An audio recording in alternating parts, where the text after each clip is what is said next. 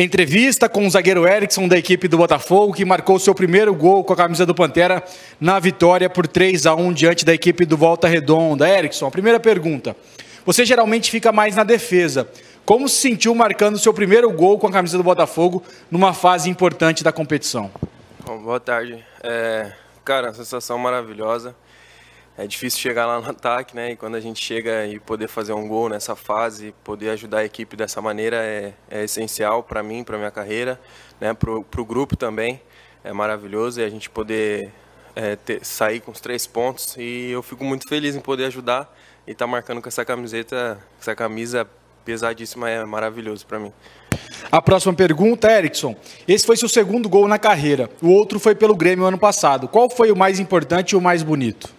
É, sem dúvida esse foi o mais importante, porque é uma fase, como eu disse, né, uma fase muito, é, muito pesada da, da, da Série C, então é, esse com certeza é mais importante pelo, pelo fato, por tudo que a gente vem passando aí e para o nosso segmento aí no campeonato. A terceira pergunta, Erickson. O time do Mirassol tem muitos jogadores experientes, cascudos e até com certo nome no cenário nacional. De alguma forma, este fator é, pesa e pode intimidar jogadores mais jovens como você? Alguns jogadores já tentou te intimidar pela experiência em campo? Não, cara, pesar não, porque como eles podem ter jogadores com nome pesado lá, que também tem, são caras experientes que tem aqui desse lado e, e de forma nenhuma se isso me afeta ou afeta alguém dos nossos que são mais novos. E tenho certeza que do lado de lá é a mesma coisa. Então, acho que isso não, não tem nenhum, nenhum peso, não. Erickson, o Botafogo vem sofrendo alguns gols nos finais dos jogos. O que precisa ser corrigido para que não ocorra mais? E o que poderia falar sobre o Mirassol, que empatou com a Aparecidense?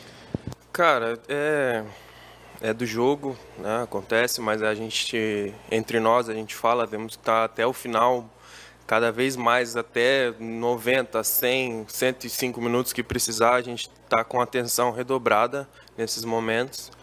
E sobre o time do Mirassol, é um time que a gente já enfrentou, sabemos que é um time bom, que vem fazendo uma boa campanha, mas a gente está estudando eles e nos preparando para tudo. A última pergunta para você, Erickson. Como fazer para evitar que o marasmo do time nas últimas rodadas pela Copa Paulista não atrapalhe a concentração e o foco do time, que vai muito bem na Série C? Vocês já conseguiram identificar por que o time caiu tanto de rendimento nos jogos da Copa Paulista? Cara, nós temos um foco é, para cada jogo. Então, o que aconteceu é passado, tanto a nossa vitória contra o Volta Redonda quanto a nossa derrota ontem.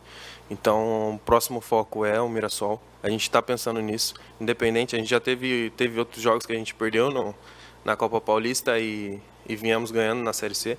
Então, esse é o nosso foco agora, Mirassol.